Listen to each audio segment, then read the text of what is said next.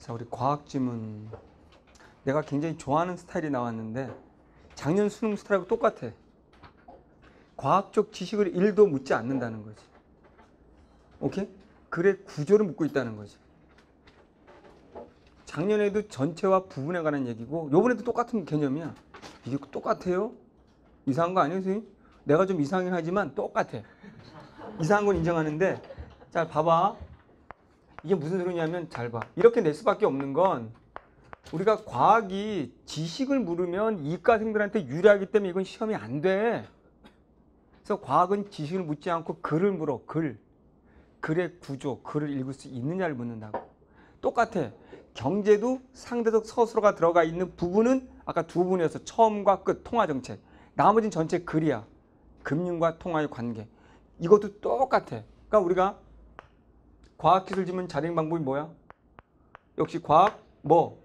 일단은 인과관계 또 또는 이게 인과 어, 원인 결과 원인 결과 순서로 이어지는 거지. why 그 다음에 또 과학은 how 어떻게 라는 방법을 주로 많이 물어보는데 그래서 똑같이 이것들 나올 때 상대적 서술어 정리하라고 그랬어.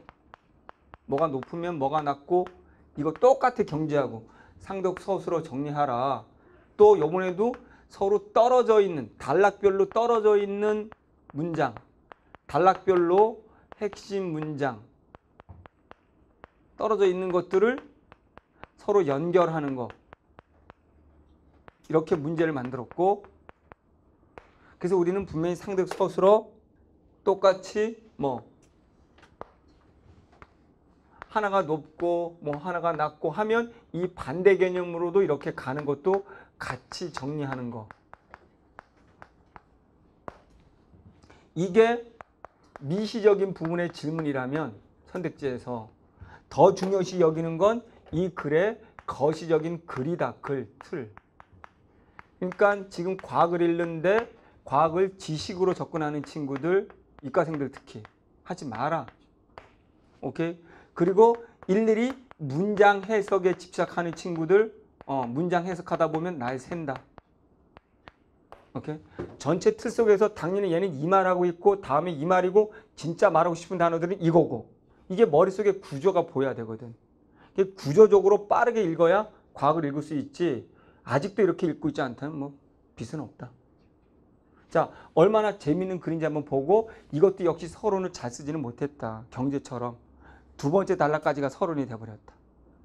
그리고 좀 재밌는 글이지만 글을 잘 못 썼다는 게 좀 문제다. 그게 뭔지를 또 한번 보도록 합시다.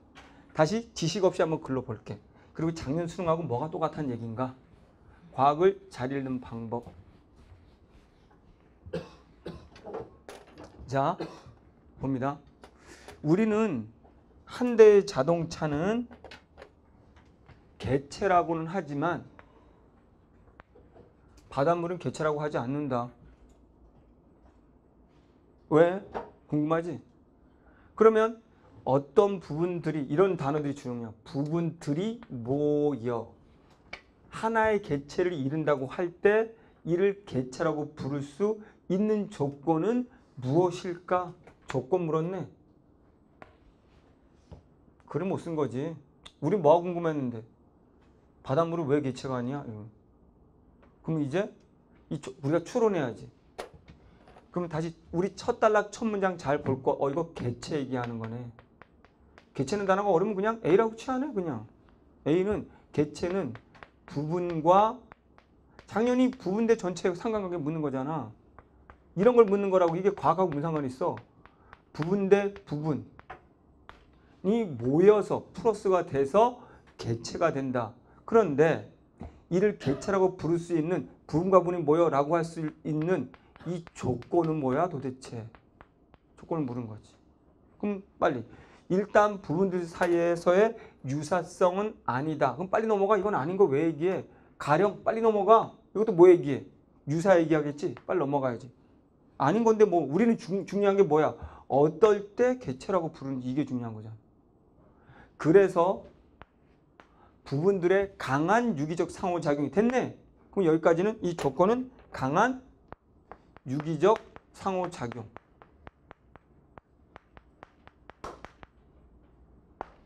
됐지? 음.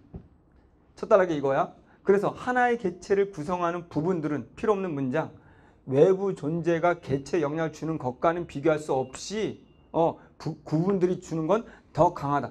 얘네 부분들이 더 강하다. 외부가 주는 것보다 쓰레기 문장 필요 없고 그냥 개체는 무조건 뭐다?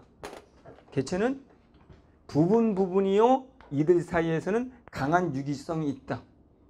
그러면 뒷부분에 가서 미리 말한다면 진핵 세포와 미토콘트리아가 하나의 개체인 이유는 부분인 미토콘트리아가 그렇지? 전체인 진핵 세포와 강한 유기성으로 있기 때문에 이거지. 그럼 우리는 앞으로 궁금한 게 제대로 썼다면 그럼 이제 사례가 나와야 되겠지. 어떤 생물이 부분 부분이 모여서 얘네들이 어떤 강한 상호작용을 하기 때문에 하나의 개체인지가 사례가 바로 나왔어야 되는 거지. 근데 그게 한참 제일 뒤에 나오지. 그게 좀 아쉽고. 근데 그러나 이걸 던질 수 있어야 돼. 요거에 대한 사례, 어떤, 어떻게 상호작용하니 이게 꼭 궁금했어야 되는 거야. 결국은 이게 핵심으로 나왔고, 제일 뒤에. 그래서 서론을 못 썼다고. 그래서 그걸 기대했는데 두 번째 단락을 봐. 그러면 언제나 다시 한번 글 읽을 때 서론을 보고 두 번째 단락의 이론, 첫 문장이 정말 앞으로 전개될 내용에 예측을 할 수 있는 기준이 된다고 했단 말이야. 그런데 이거 경제하고 똑같이 또 다른 조건을 걸어 이렇게 서론이 될 수가 없어. 가- 앞으로 갔어야지. 무슨 소리냐? 상이한 시기에 서로 다른 시기에 존재하는 두 대상을 동일한 개체로 판단하는 조건 도움으로 수 있다는 말은 조건 1, 조건 2가 있는 거야. 그럼 얘도 조건을 또 묻는 조건이기 때문에 원래는 서론으로 갔어야지. 근데 내가 글을 쓴다면은 어, 개체라는 건 부분 부분을 이런 조건 때문에 움직인다. 그렇다면 자 우리가 상이한 식에 나온 서로 다른 개체들 이 개체들도 동일한 개체라고 말할 수 있는 조건은 무엇일까? 그건 인과성이다. 라고 서론을 끝내고 그 다음 우리는 그럼 뭐야? 아 그럼 두 개 각각의 사례에 해당하는 것들을 가지고 앞으로 글이 설명을 하겠네. 유기적 상호작용과 인과성을 가지고 이네들이 하나의 개체요 동일한 개체를 말하고 싶은 거겠네. 이렇게 추론할 수 있는데 폴론 또 그냥 또 나버렸어. 그럼 여기까지가 서론이고 여기까지가 전제가 되는 거 앞으로 글 전개. 이렇게 쓰면 안 된다는 거지. 바로 이게 나왔어야 되는. 어쨌든 이제 또 물어야 돼. 이 범주를 차이를 이해해야 돼. 뭐야? 요번에는 부분 부분이 아니고 확장이 돼서 이제는 이거잖아. 쉽게 말하면 어떤 상이한 시기, 그럼 과거에 한 개의 개체가 있는 거야. A라는 개체. 근데 현대에 와서 개체 B가 있어. 시기가 달라졌는데 얘네들을 동일한 개체, 인간이라는 파충류라는 동일한 개체로 말할 수 있는 조건은 뭐야? 이런 거죠. 자, 범주 보이니? 자꾸 이렇게 보는 연습해야 돼. 부분 부분으로 합쳐서 한 개. 이거 쉽게 말하면 팔, 다리 합쳐서 얘를 하나의 인간이라는 개체라는 것과 옛날의 원숭이와 지금의 인간이 개체 개체 얘네가 하- 같은 개체로 말할 수 있는가? 그럼 같다면 조건이 뭔가? 이거잖아 지금. 부분 부분의 전체를 말하는 개체냐? 떨어지는 개체 개체 완전히 개체로 이루어진 애들이 같다고 말하는 조건이 뭐냐? 이런 게 눈에 안 들어오면 글못 읽는 거야. 이건 과거하고 무슨 상관이야? 범주가 부분 부분으로 하나? 이제 그게 합쳐진 한 개체 한 개체가 합쳐서 얘네가 같은 개체? 이걸 묻고 있는데. 그릴기 그릴기 그럼 사례 읽을 거 없어. 이제 우리는 조건만 찾으면 돼두 대상 사이는 인과성이다. 그럼 이제 안 봐도 계속 인과성 얘기일 거야.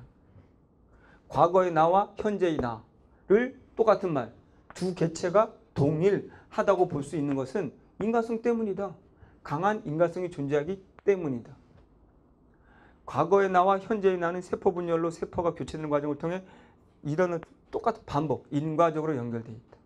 또 나가 세포 분열을 통해 새로운 개체를 생성할 때도 나와 나의 후손은 인과적으로 연결되어 있다. 또 인과.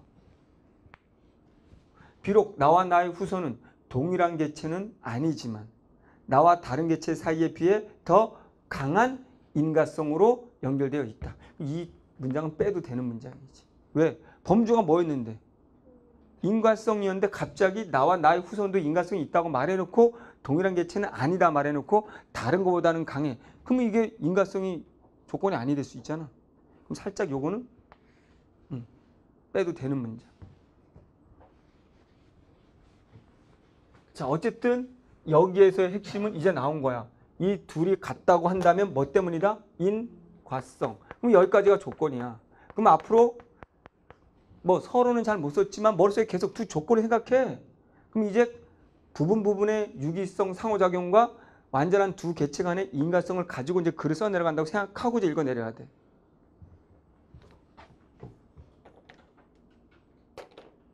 개체성에 대한 이러한 철학적 질문은 생물학에서도 중요한 연구 주제가 되는데 자 우리가 기대한 게 이제 안 나와. 그럼 빨리빨리 넘어가.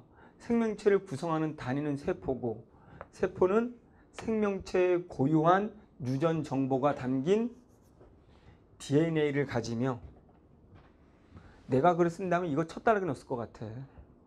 세포 고유한 DNA 아니면 두 번째 단락에 넣거나 각각의 개체가 되려면 고유한 DNA 이렇게 낼 것 같아. 자 어쨌든 글이 막 튀어나와 지금.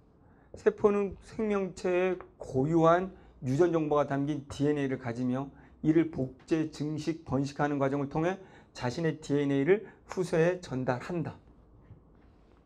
세포. 전제로 이제 세포를 줬어. 우린 이게 궁금한데. 세포가 왜 나왔지? 자, 세포는 사람과 같은 진핵 생물의 진핵 세포와 세포의 범위 속에서 다시 이제 두 갈래로. 일단 머리에 이걸 두고 굉장히 좋은 글인데 좀 깔끔하게 못 써도 좀 아쉬운데.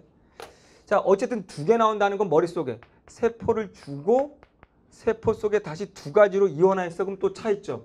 그럼 사람과 같은 사람 이콜 진핵 생물 얘네들에 있는 세포는 진핵 세포. 세포의 범주니까. 그러면 두 개라고 했으니까 또 여기도 사례. 누구 박테리아나 고세균. 애들 같은 뭐 원핵 논리구조 생물. 우리가 이 지식을 묻는 게 아니라는 거야. 지금 세포 얘기를 하고 있고 그냥 두 개 다른 애 무조건 차이점 공통점. 그럼 똑같은 구조로. 얘는 무슨 세포? 원핵 세포가 있다. 그럼 이렇게 두 개를 주는 이유는 뭘까? 그럼 머릿속에. 얘네들은 부분 부분인가? 둘이 나왔으니까 아니면 각각의 개체인데 동일한 개체가 되는 건가? 이거 둘 중에 생각해야지. 두 개 나왔으니까 부분 부분이야? 하나의 개체가 되는 거야 합쳐서? 아니면 각각의 개체야? 그래서 동일한 개체야? 그럼 얘네 각각이면 얘는 인과성이야? 아니면 부분 부분이면 얘는 강호, 상, 강한 상호작용이야? 이걸 생각해야지 두 개 나왔으니까. 지금 과학 하는 거 아니다. 글 하는 거다 지금. 내가 과학을 어떻게 알아? 내가 문과 출신인데. 자, 다 옛날 배웠던 기억이 나긴 한다 근데. 지식으로 풀지 마. 30년 거도 기억하고 있네. 지금. 하지 마. 어. 아, 우리 내가 학교 다닐 때는 문과도 과학 내가 내 과목 다 했거든. 물리학, 지학, 생물. 시험 과목 11개 과목 했- 얘기했잖아. 국영수, 사탐 4개, 과탐 4개. 에, 에. 아, 그때 좋았어. 11개 공부하느라 어우, 즐거웠지. 그래서 한 손에는 호미, 한 손에 나 들고 쌍꺼풀 흘리면서 하, 감자 캐고 와서 공부하고 막 그랬는데. 다 기억나? 이게 진행세포 얘기죠. 자.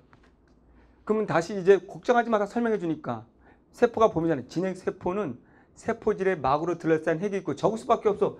해주잖아. 진핵세포의 특징. 얘는 순서 세포질 뭐 이해하지 마. 세포질에 그 다음에 막으로 둘러싸인 뭐가 있고 막 안에 핵이 있고 핵 안에 또 뭐가 있고 DNA가 있고 그럼 얘도 설명해야지 뭐 그러면 됐지? 원핵 세포는 핵이 없다.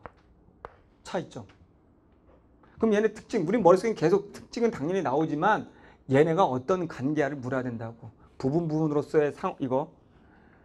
자 또한 진핵세포의 세포질에는 막으로 둘러싸인 여러 종류의 세포 소기관이 있으며 그런데 여기는 다시 또 다른 막이 있는데 세포질 안에 또 다른 막은 세포 소기관이라고 한다. 그럼 세포 소 저거 정리할 수밖에 없어. 소기관 그 중에서도 누가 있다? 미도가 있다. 됐지? 그럼 미도 얘는 에너지 생산하는 거고 대부분의 진액은 미도콘트리아를 필수적으로 가지고 있다. 그럼 됐어. 우리는 사실 이게 별로 중요하지 않아. 이게 시험 문제에서 이거 안 물었을 걸. 요 순서만 나중에 요건 묻긴 하는데 이거 안 물어. 왜? 우리가 중요한 포인트는 얘네 차이점이 아니고 얘네가 어떤 관계야. 부분분으로 상호작용이야. 개체 개체로서 인가야. 이게 더 중요한 포인트거든. 머릿속에 난 계속 그것만 생각하고 읽어가고 필요 없네 필요 없네 필요 없네. 내 읽을 때는. 기준 속에서만 나는 읽으니까. 과학 지식이 아니라. 그렇게 안 읽으면 문제가 있어. 자, 이러한 미도콘드리. 그럼 미도콘드리아하고 다시 이어지는 단락이 미도콘트리아야. 그럼 핵심이 이제 미도가 핵심인가 봐. 이 중에서도 미도. 다시. 그럼 이제 이들의 관계가 아직 안 나왔네? 그럼 미도콘트리아가 원래 박테리아의 한 종류인 원생 미토콘드리아였다는 이론이 20세기에 제기됐다. 그러면 이제 이 얘기를 왜 하는가? 어, 야, 그럼 미도. 야, 미도 얘가 지금 진핵세포인데 원래는 뭐? 원래는 박테리아였다. 그래서 얘 이름이 원래는 원생 미도였다. 그럼 이 말을 하는 이유는 어, 얘네들은 같은 아니면 서로 부분 부분 아닐까? 이거에 대한 얘기를 하고 싶은 거야 지금. 동일한 개체 아닐까 이거지. 자, 그래서 공생 발생설 또는 세포 내 공생설이라 불리는 이론에서는 두 원핵 생물 간의 공생 관계가 지속되면서 진핵 세포를 가진 진핵 생물이 발생했다고 탄생했다고 설명한다. 그럼 이제 포인트가 아 그러면 이제 얘는 거야. 아 여기에서 원핵에서 얘네가 나왔어. 그러면 얘네들은 서로 뭐야? 같은 동일한 개체가 아닐까? 이거 지금 생각하는 거야 지금 계속 이제 나오는 거야. 그러면 다시 여기는 어 다시 해볼게. 두 원핵 생물 그러니까 원핵 생물 A와 원핵 생물 B 얘가 합쳐서 이제 어 진액이 나왔다고 보는 거야. 그러면 더 자세히 근데 이 둘의 관계가 이제 공생 관계였다는 말이야. 그럼 좀 더 복잡해. 이제 우리가 공생이라는 말의 전제가 뭐냐? 둘이 서로 확실히 달라야 돼. 그러면 얘도 한 개의 개체, 얘도 한 개의 개체가 돼야지만이 공생이라는 말을 쓸 수 있는 거야. 부분이면 공생의 말은 못 써. 팔과 사람이 공생하다 이렇게 안 하거든. 우리 사람 속에 박테리아는 뭐 공생할 수는 있어도. 아 몰라도 돼. 자 넘어가. 공생은 이제 설명 이게 굉장히 중요한 공생은 서로 다른 이게 포인트야. 서로 다른 생명체가 함께 살아가는 것을 말하며 이거야 서로 다른 생명체를 가정하는 것은 어느 생명체의 세포 안에서 한 세포 안에서 다른 생명체가 공생하는 내부 공생에도 마찬가지다. 무슨 소리냐면 한 세포 안에 한 세포 안에 다른 생명체가 들어있는 것도 이걸 공생이라고 보자. 쉽게 말하면 뭐냐면 어, 한 동네에 원숭이랑 인간이 살아간다면 한 동네 안에 사는 이것도 공생관계야. 원숭이가 도움을 주고 인간이 도움을 주고 이렇게. 근데 한 세포 안에 이게 진핵 세포인데 이 안에 뭐 원핵 세포가 있다면 이것도 공생으로 보자 이런 얘기야. 자, 몰라도 되지만 자, 몰라도 되지만 자, 어쨌든 공생이라는 단어 눈에 들어와야 되는데 공생은 핵심이 서로 다른 애들일 때만 공생이란 말을 할 수 있다야. 그러면 다른 생명체라는 건 다른 각각의 개체여야 된다는 거야. 자, 공생 발생설은 한동안 생물학계로부터 인정받지 못했대. Y가 궁금하지. Y. Y. 미도콘트리아의 기능과 대략적인 구조 어쩌고저쩌고는 내부 공생의 사례를 미리 알려졌지만 이유 이유 미도콘트리아가 과거에 이거 독립된 생명체였다는 것을 쉽게 믿을 수 없었다는 거지. 그러면 공생이 안 되는 이유? 야 미도콘트리아계는 하나의 독립된 개체가 아닌데 어떻게 공생이란 말을 써 이런 얘기잖아. 하나의 부분일 뿐이지. 그러니까 다시 한번 이 답 바로 가야 돼. 공생이 아닌 이유 이거 물으면 바로 Y가 나와야 돼. Y. 미도콘트리아가 독립된 생명체가 아니라고 생각했기 때문에 독립되면은 공생이 되겠지. 그러면 이거야. 하나의 원핵 생물이 있었다고 쳐 누구? 박테리아의 고세균. 이 고세균이라는 박테리아 안에 또 다른 원생 생물이라고는 미도, 원생 미도가 있었어. 그래서 사람들은 이거 공생이라고 믿지 않았어. 왜? 요 원생 미도콘트리아는 하나의 독립적인 것이 아니라 얘 부분이라고 생각했기 때문에 이런 얘기란 말이야. 그럼 하나의 독립이면 얘도 하나 독립, 얘도 하나 독립이면 공생이라는 말을 쓸 수 있는데 얘가 하나가 독립이 아니고 얘 부분이면 얘 그냥 하나지. 어떻게 공생이라는 말을 써 이런 얘기지. 그러니까 얘를 독립적인 생명체로 보지 않았기 때문에 라는 거지. 그러면 이 시험 문제 잘 낸 게 독립적인 생명체의 다른 말로 바꾸는 거란 말이야. 아까 생명체가 뭐라고 했냐면 고유한 DNA를 가지고 전달하는 거라고 앞에서 말했잖아. 생명체란 고유한 유전 정보를 가진 DNA가 이렇게 하는 거야. 그 말로 바꾼 거지. 그러면 뭐 바꾸면 원생 미도콘트리아가 고유한 DNA를 가지고 증식하고 후손에 전달하는 것을 몰랐기 때문에 인정하지 않았기 때문에 이런 말이 나와야 되는 거지. 그럼 바로 답으로 가는 거지. 문제풀이. 이거지. 기억의 이유 미도콘트리아가 자신의 요 단어가 나왔어야 되는 거야. 고유한 유전 정보를 전달할 수 있다는 것을 알지 못했다. 이게 고유한 생명체가 아니라고 생각했기 때문이다는 얘기지.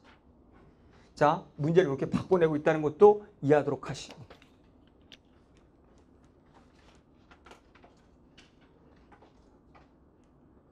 그런데 그리고 한 생명체가 세대를 이어가는 과정 중에 돌연변이와 자연 선택이 일어나고 이로 인해 종이 진화하고 어, 분화한다고 보는 전통적인 유전학에서 자, 이 말은 뭐냐면 전통적인 유전학에서는 하나가 돌연변이 자연 선택하면서 변화되는 거지 두 개가 합쳐서 새로 나오는 것은 주목받지 못했다. 아이 말이 돼?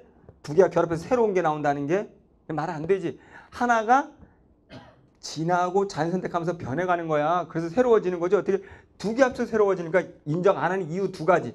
야, 얘 고유한 생명체 없잖아. 그리고 두 개 결합해서 나온다는 건 말이 안 돼. 라고 공생설을 부정한 게 두 가지 이유란 말이지. 두 가지 이유. 자, 그러다가 전자현미경의 등장으로 미도콘트리아의 내부까지 세밀히 관찰하게 되고 미도콘트리아 안에는 드디어 세포핵의 DNA와는 다른 DNA 옛 것만 자신만 고유의 리보솜을 가지고 있다는 사실이 밝혀지면서 고유하니까 공생 발생설. 어, 너 고유한 니거 가지고 있네? 네 고유한 생명체네? 그럼 얘랑은 별개네? 그럼 공생이라고 해줄게. 하나의 개체, 하나의 개체니까. 이런 거지. 됐지? 음. 그럼 지금 머릿속에 계속 다 때려치고 과학 지식이 아니라 여기서 핵심은 공생이라는 단어의 범주를 이해하는가. 공생이려면 각각의 생명체. 다른 말로 하면 각각의 개체여야 한다. 그럼 우리가 아까 궁금했던 게 이게 궁금했는데 오히려 우리는 여기를 설명하면서 뭐 여기 반대라고 생각하는 진핵생물의 미도콘트리아 얘가 얘를 말하기 위해서 얘는 원래 어 박테리아였고 박테리아 속에 있는 또 다른 원생 생물로서 공생으로 살아온 애다라는 걸 설명하는 거야. 사실은 자 이게 별로 중요한 부분 아니었거든 근데 범주가 벗어나거든. 우리는 얘들 관계이거나 이걸 말해야 되는데 그러면 이렇게 말했다는 건 그 다음 걸 말하기 위한 전제인데 공생 발생설에 따르면 진핵생물은 원생 미도콘트리아가 고세균의 세포 안에서 다 아는 얘기 하네. 다시 진핵생물은 원생 미도콘트리아가 고세균의 세포 안에서 내부 공생을 하다가 탄생했다고 본다. 아까 말 그대로 다시 받은 거야. 그대로 원핵 생물이라는 고세균 안에서 그러면 고세균 큰 거 내부 공생이지 그 안에 미도가 있었다는 거지. 그래서 나온 게 진핵 이거라고. 다시 반복하고 있어. 고세균의 핵의 형성과 내부 공생의 시작 중 어느 것이 먼저인지 대선 논란이 있지만 필요 없어. 고세균은 세포질에 핵이 생겨서 진핵 세포가 되고 그럼 여기서 이제 논점이 나와. 그러면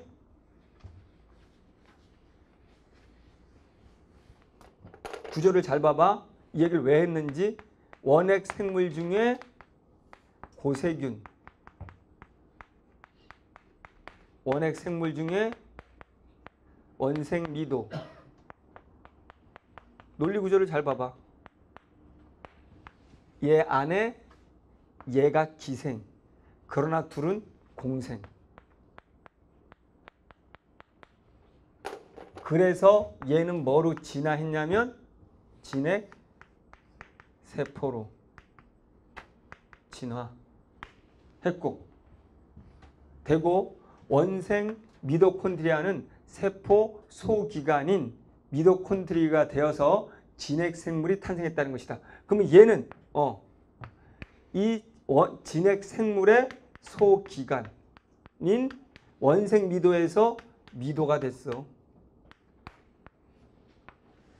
요 두 개는 그래서 진핵 생물이 됐어. 진핵 생물 속에 있는 진핵 세포는 얘가 진화해서 진핵 생물 속에 있는 하나의 소기관으로서의 미토콘드리아는 얘가 이렇게. 그러면 이제서야 잘 쓰지 못해가지고 그러는 구조가 이게 뭐냐면 여기에 시기상 얘네가 진화했다는 말은 얘와 고세균과 진핵세포 우리가 같은 개체로 볼 수 있는가? 있다는 거지. 진화. 인과성으로 이렇게. 그럼 여기도 얘가 얘를 같은 개체로 볼 수 있는가? 인과성으로 진화. 아까 후손에 전달하는 거 요거 진화하는 거. 인과성으로 얘는 동일한 개체. 글을 제대로 쓰려면 이제 이걸 써야 되는 거거든. 그러니까 사실은 이게 필요 없는 말들이고 이거는 사실은 너무 길게 말했고 그냥 내가 쓴다면 바로 얘네랑 얘네는 바로 공생관계였다. 그런데 공생관계였던 얘네들이 각각 쉽게 얘네로 진화가 됐다. 그럼 얘네가 공생인 이유는 간단하게 얘도 설명하면서 독자적인 그게 있었기 때문에 내부 공생이었다. 그래서 얘는 여기로 얘는 여기로 왔다. 그런 다음에 이제 진핵 생물을 보는 거야. 그럼 그러면 진핵 생물 안에 있는 그다음에 요 미도 얘는 이 둘도 얘네처럼 과연 공생 관계일까 아닐까 이렇게 물으면 되는 거지잖아. 글이 너무 지저분해. 논리상으로는 진짜 이 말하고 싶은데. 그래서 이 부분은 앞에서 말했던 시기상 옛날 진화했잖아. 시기상 다른 개체들이 아이고 아이고 씨. 시기상 다른 개체들이 동일한 개체일까? 라고 묻는 거지. 인과성으로 동일하다. 시기가 다르다. 진화했으니까 동일하다. 이거 하나 적용한 거고. 그 다음 여기 와서는 진핵생물과 세포, 미토콘트리아 얘네도 과연 공생일까? 서로 다른 달라 보이는 개체인데 이제 이걸 묻는 거지. 그러면 앞으로 이제 나오는 거는 구조가 진핵생물과 진핵생물의 생물 진핵세포와 미도 얘네들은 어 과연 공생일까 아닐까 이거에 대한 질문을 하는 거지. 봐봐. 그래서 미토콘드리아가 원래 박테리아의 한 종류였다는 근거는 여러 가지가 있어. 원래 얘는 박테리아였어. 여기 보다시피 박테리아의 종류는 원생. 그 이유는 1. 자, 박테리아와 마찬가지로 새로운 미토콘드리아는 이미 존재하는 미토콘드리아의 이분 분열을 통해서만 1. 특징. 박테리아의 특징 이분 분열. 미토콘드리아의 막에는 진핵세포 막의 수송 단백질과는 다른 얘는 지금 진핵세포 안에 있는데 그거와 다른 수송 porin이 있고 박테리아의 세포막에 있는 cardi까지 있고 그리고 또 리보솜은 진핵세포의 리보솜보다는 박테리아 쪽에 가깝고 그러면 이 말을 하는 이유는 야 미토 얘 진핵보다는 그 이전에 박테리아하고 가까워. 그 박테리아와 같- 같다는 그 근거가 네 개나 있어. 이분 분열 그 다음에 porin 그 다음에 카 오디오. 그렇지? 음악도 하네. 리보솜. 이게 오히려 여기에 가까워. 이말 하는 이유는 뭐야? 그러면 진핵 생물하고 얘하고는 다르잖아 완전히 다르니까 뭐라고 해야 돼 어, 얘는 다르니까 각각의 개체니까 공생이라고 말할 수 있는 거 아니야? 이걸 유도하고 있는 거지. 각각 다르니까 각각 개체잖아. 이 말 하는 거지. 자, 그래야 글 이제 미토콘트리아는 여전히 고유한 DNA를 가진 채 독재와 증식이 이루어지는데도 어 고유해 고유 그러면 얘 고유하면 얘 개별 개체 개체잖아 그럼 공생한다고 해야지 이렇게 했는데도 미토콘트리아와 진핵세포 사이의 관계를 공생관계로 보지 않는 이유는 뭘까? 이렇게 돼 있잖아. 그럼 진핵 생물, 그러면 진핵 세포, 진핵 생물에 있는 진핵 세포와 미토콘트리아는 공생관계가 아니라고 결정 내렸어. 그럼 궁금해. 안 봐도 끝내 끝났어. 왜 공생관계가 아니야? 그럼 공생관계 아니면 얘는 하나의 개체니까지. 그러면 그러면 얘가 부분이 된 거지. 얘도 부분이 된 거지. 그럼 부분 부분 한 개 개체가 돼 버렸어. 그럼 이게 한 개의 개체라는 증명은 안 봐도 뭐라고 써 앞에 서론에서 둘이 강한 상호 작용이 있기 때문이야 이 얘기지. 그럼 앞으로 나올 내용은 강한 상호 작용은 뭔데 어떻게 하는데 이거지. 이 강한 상호 작용 때문에 얘는 하나의 개체야 이런 얘기를 하는 거지.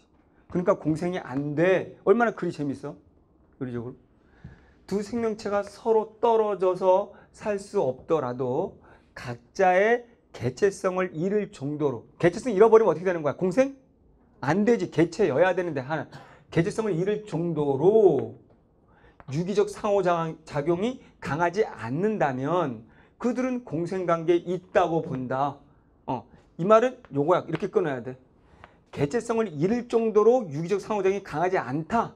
그럼 유기적 상호작용이 강하지 않다는 말은 개체성을 잃지 않았다는 뜻이야. 문장을 잘 못 썼어. 그럼 개체성을 잃지 않으면 그건 공생관계라는 거지. 개체성이 독립적인 개체가 있으면 공생이고 미토콘트리아와 진핵세포 간의 유기적 결론 이거야. 상호작용은 둘을 다른 개체로 볼 수 없을 만큼 강하기 때문이다. 결론 됐네. 얘네들은 다른 생물로 볼 수가 없다. 부분 부분이다. 얘네들은 왜 강한 상호작용이 있기 때문에 하나의 개체다.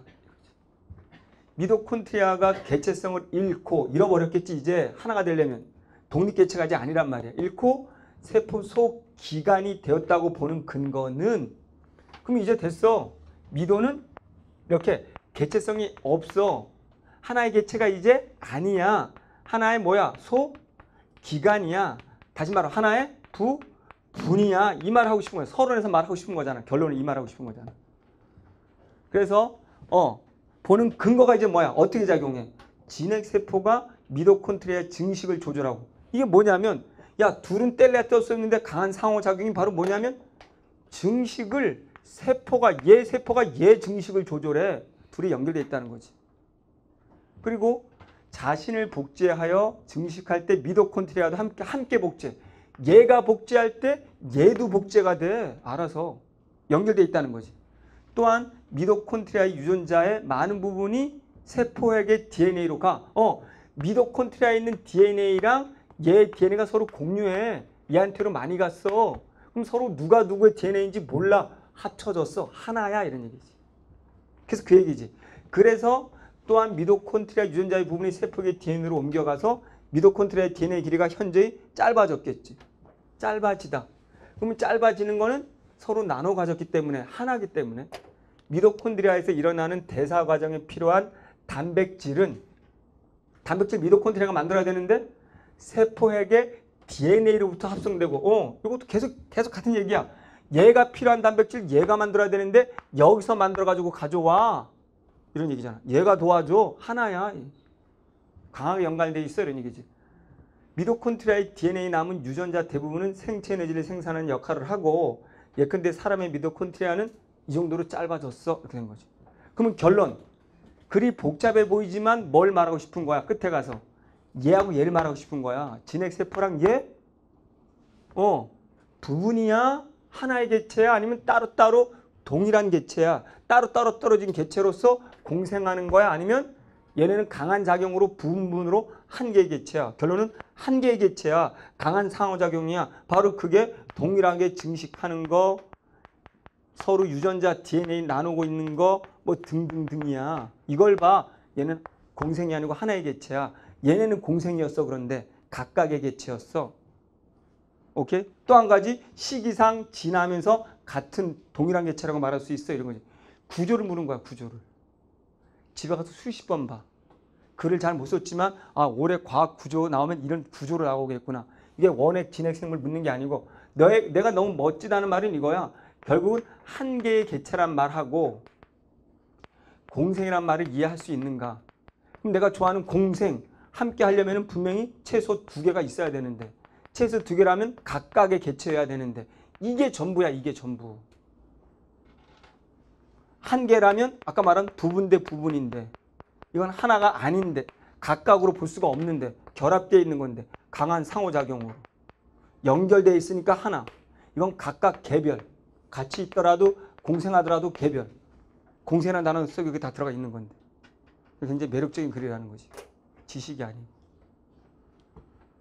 오케이. 그럼 문제 어떻게 내는지 보고 3번 개체성의 조건을 제시한 후 부분 대 부분. 조건은 강한 상호작용. 세포 소기관 누구? 미토콘트리아.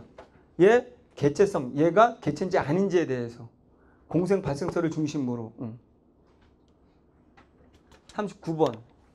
유사성 어떻게 내는지 봐. 유사성은 개체성 조건이 아니지. 바닷물 유기적 상호작용이 아니니까 개체라고 말 여기 하나의 개체 속에 둘 수가 없는 거고. 새로운 미토콘드리아를 복제하기 위해서는 세포 안에 미토콘드리아가 반드시 있어야 되는 거지. 왜? 이분 분열. 미토콘드리아 대사 과정에 필요한 단백질은 이거 왈가왈부 했는데 왈가왈부 얘기가 아니잖아 이거는. 미토콘트리아 대사 과정에 필요한 단백질은 누가 만든대? 세포 핵이 만들면 되잖아. 그럼 아까 말 그대로 요거 그대로 봐봐. 여기 세포 핵. 그럼 세포 핵은 아까 이런 문제 잘 내고 있어. 이 다른 단락에 있는 글을 연결시키고 있잖아. 아까 세포 질. 질 속에 막. 막 속에 핵. 핵 속에 DNA. 얘가 단백질 만드는데 근데 미도는 이제 안 만들어. 그럼 미도도 단백질 먹고 싶어. 그럼 어떻게 와야 돼? 단백질 어떻게 전달돼야 돼? 만들어서 세포 핵에 막을 뚫고 나와서 세포질로 와서 다시 미도를 싸고 있는 막으로 들어와서 미도로 와야 되는 거지. 그러니까 이건 미도콘트리의 막을 통과하는 것이 아니라 핵의 막을 통과해서 세포질로 간 다음에 다시 미도를 싸고 있는 막을 간 다음에 뚫고 미도로 간다 그렇게 써야 되는 거죠. 이게 왜 왈가왈부 해야 되는 거야 도대체? 진핵세포가 되기 전에 고세균이 원생 미토콘트리아보다 진핵세포와 더 강한 인가성으로 연결되어 있다. 아주 잘했어 이 선택지. 왜? 인가성 나면 무조건 뭐야? 얘는 동일한 개체지. 아까 뭐라고 했어? 여기에 있는 고세균은 뭐로? 진핵세포로. 여기에 원생 미토콘트리아는 뭐? 세포소 기관으로. 그럼 얘가 얘네로 진화했다는 것은 시기는 다르지만 동일한 개체. 이유는 인과 성. 그래서 인과성이라는 단어가 튀어나온 거지. 안다스 어. 이거 명확하잖아요. 명확해 지금 논리로 보면 나 혼자 즐거운 것 같다 지금. 너무 즐거운데 논리를 보니까요. 윗글 참가할 때 기억 아까 얘기했고. 이건 너무 쉬운 거지 뭐. 왜? 세포 소기관이라는 미토콘드리아가 박테리아로부터 나왔다는 증거 네 가지가 있었잖아. 이분, porin, cardio, 리보솜. 그럼 세포 소기관이 DNA를 가지고 있다는 것과 이분 분열 됐네. 기억. 세포 소기관이 자신의 DNA를 가지고 있다는 것과 진핵세포의 리보솜을 가지고 있다는 것으로만은 안 되지. 진핵세포의 리보솜이 아니고 자기만의 리보솜인데 그게 어디에 가깝다고? 박테리아 가깝다고 말해야지. 세포 소기관이 막으로 둘러싸여 있다는 것과 막에는 수성 단백질이 있다는 거 이렇게 말하면 안 되지. 수성 단백질인 뭐? 포린이 있는데 그것이 뭐? 다른 누구와 다른? 진핵세포와 다른. 그 말을 했어야지. 리을 세포 소기관이 막으로 들어서 있다는 것과 막에는 다량의 카오디오. 이건 누구 건데? 누구하고 가까운? 누구에 있는? 박테리아에 있는. 그래서 기억 리을 단순한 문제였고. 자 이거 왈가고 말이 많은데 일단 이거 보기 안 보고 풀어볼게요. 오답률 1위 문제. 88%가 틀린 윗글 바탕이 윗글 바탕. 작년에도 지구과학 문제 보기 안 봐도 답 나오잖니? 안 보라는 거 아니야? 해볼게 논리적으로. 재밌잖아. 뭘 묻겠니 여기서? 공생 동일한 거냐? 부분이냐 물을 거 아니야. 그러면 병원성을 잃은 아메바의 세포질에서 서식하는 박테리아. 그럼 이건 아메바랑 박테리아의 관계지. 단순하잖아. 잘 봐. 아메바. 이런 걸 맞춰줘야 지금 간단하게 이런 걸 그래서 변별이 생길 거 아니야. 아메바랑 지금 박테리아인데 이 박테리아가 뭐가 됐대? 세포 소기관. 아까 그대로 세포 소기관이 되면 무조건 얘네 무슨 관계래? 각각이야? 하나야? 얘는 하나잖아 하나. 얘는 하나라는 거 지금 얘는 공생이 안 해. 공생이랑 말을 쓸 수 없지. 한 개의 개체지. 그럼 얘는 공생할 수 없다는 거잖아. 각각 이어지 공생하는데 그럼 바로 5번으로 와봐. 같이 비교하라면 논리상 아메바의 세포질에 서식하는 박테리아와 아메바 사이의 관계 끊어. 그럼 똑같이 아메바와 아메바에 사는 박테리아 이 관계에서 모두 공생 관계. 그럼 얘는 공생이 되잖아 5번은. 둘 중에 하나 답이 될 것 같은데. 얘는 공생, 얘는 공생 아님. 그러면 이제 4번. 아메바의 세포질에서 서식하는 박테리아가 개체성을 잃었다면 잃었다면이야. 잃었다면이란 말은 뭐니? 지- 아니 지금 잃었다면이란 말의 전제가 뭐니? 지금 잃지 않았다는 거야. 가정문이잖아. 잃었다면. 개체성을 잃었다면 당연히 뭐야? 아메바의 세포질에 서식하는 박테리아의 DNA 길이는 짧아진다는 건 맞지. 개체성을 잃었다면이라는 건 어, 하나의 개체라는 거잖아. 세- 다시 말하면 이거 3번 선택지, 4번 선택지 세포질하고 이- 여기에 박테리아인데 얘가 개체성을 잃었다면 얘네들은 한 개의 세포라는 거야. 그러면 한 개의 세포가 되면 아까 미도콘트리아하고 똑같이 얘네들의 DNA, 이 박테리아의 DNA 길이는 짧아지는 건 맞는 거지. 미도콘트리아 길이가 짧아진다고 했잖아. 하나일 경우는 오 맞는 거 아니에요? 근데 이 말의 전제는 개체성을 잃었다면이기 때문에 지금 상태는 잃지 않았다는 거야. 그러면 잃지 않았다는 말은 역시 박테리아는 아- 아직도 하나의 개체라는 거니까 공유, 공생이 맞는 거지. 자, 그걸 어떻게 알아요? 어떻게 선택지들을 만드는지를 봐봐. 그럼 2번도 봐봐. 보고 체내에 서식하는 미생물은 그럼 보고와 플러스 미생물 물은 조건을 준단 말이야. 선택지를 잡고 유기적 상호작용이 강해진다면 상- 이게 강해지면 얘네 둘은 무슨 관계가 되는 거야? 강해진다면 무슨 관계? 강해진다면 한개 개체가 돼야지. 상호작용이 강하면 한개 개체니까 이러면 공생에 못해. 이땐 공생 못해지. 근데 다시 중요한 건 강해진다면이란 말은 지금 강하다 안 강하다야. 안 강한 거야. 이건 조건문이고 실제 사실은 강하지 않다야. 그럼 이건 각각의 개체가 돼야지 강하지 않으니까. 그럼 얘네들 무슨 관계다 결론은? 공생 관계가 되는 거야 결론은. 그럼 여기 봐 5번 보고와 미생물은 공생 그래야지 맞는 거야. 아 이거 이거 3번 봐봐 보고의 세포가 증식할 때 보고 체내의 독소를 생산하는 미생물의 DNA도 함께 증식하지 않는다면 동일한 개체야 아니면 거식이야. 똑같이 보고와 미생물인데 얘네들의 관계인데 여기는 자 얘가 증식을 할 때 얘가 증식하지 않아. 그럼 얘는 별개잖아. 그럼 얘는 각각의 개체니까 얘는 뭐야? 공생이라고 해야 된다는 거지. 그러면 결국은 보고 공생, 보고 공생, 보고 공생 맞아 떨어진 거지. 그래서 중요한 건 여기서 어, 조건문을 주는구나. 여기도 그럼 조건문이구나. 그럼 이건 아니라는 거구나. 라고 했어야 된다는 거지. 그럼 성격이 다른 건 얘만 공, 뭐야 하나의 개체라고 말하고 나머지는 공생이라고 말하는 거지. 아닌가? 이거, 이거 보면 답 나오는 거 아니야? 보기 볼까? 싫어? 자, 그럼 포기 안 먹는 걸로. 어. 그래서 이거 조명 이건 그냥 조명 비추는 거고 머리를 밝히는 건 규 명. 오케이. 고생했어.